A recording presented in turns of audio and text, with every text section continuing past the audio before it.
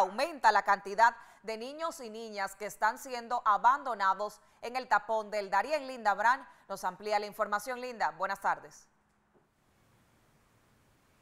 En lo que va de este año 2024, más de 90 mil migrantes irregulares han atravesado la selva del Darién con destino a los países de Norteamérica, Estados Unidos y Canadá. El Procurador General de la Nación informó que se ha abierto una oficina en la provincia de Darién para atender a los cientos de niños y niñas que son abandonados por sus padres o parientes en medio de la selva. Darién, que algunos extranjeros venden a sus hijas menores a los coyotes.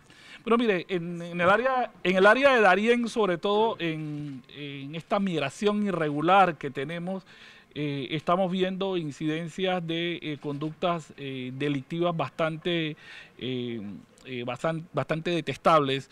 Estamos viendo eh, jóvenes y niños que atraviesan la selva solos.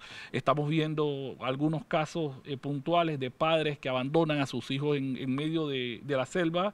El Ministerio Público de manera responsable ha creado una, hace ya dos años y casi tres años, ha creado una oficina especial para esa, ese área que de alguna manera está monitoreando y haciendo las investigaciones en este tipo de casos.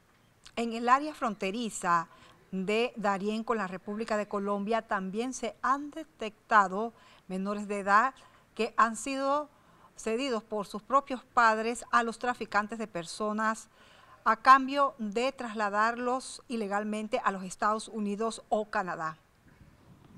Con cámara de Carlos Figuera, Linda Brand, Next Noticias. Gracias, Linda, por la información.